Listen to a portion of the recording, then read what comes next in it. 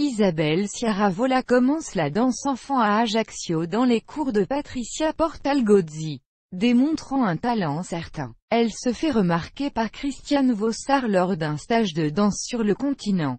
À la suite de cette rencontre elle quitte la Corse pour intégrer le Conservatoire national supérieur de musique et de danse de Paris en 1985. Dans la classe de cette même Christiane Vossard et en ressort avec le premier prix en 1988.